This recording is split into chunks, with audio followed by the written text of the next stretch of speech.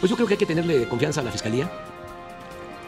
Siempre he dicho que Alejandro Germanero es un hombre recto, íntegro, le tengo confianza y no va a simular, no va a permitir la impunidad, no va a actuar por consigna, sabe que es un momento histórico el que estamos viviendo.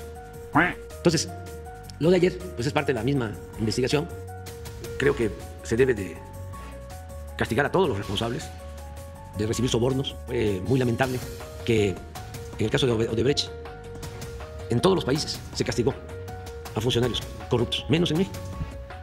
Hasta ahora estamos nosotros corrigiendo lo de Odebrecht con Pemex, porque se firmó un acuerdo con Odebrecht para que Pemex le vendiera gas, metano, con precios eh, subsidiados y otras ventajas.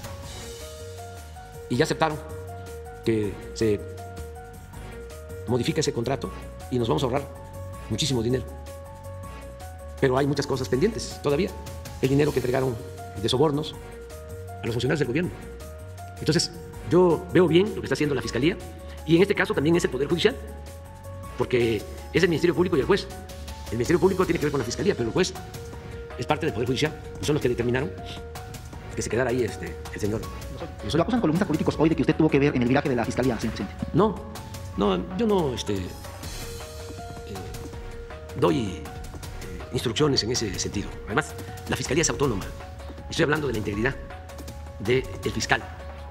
Imagínense, yo recomendándole algo al fiscal. Primero, nunca lo haría. Nunca lo he hecho.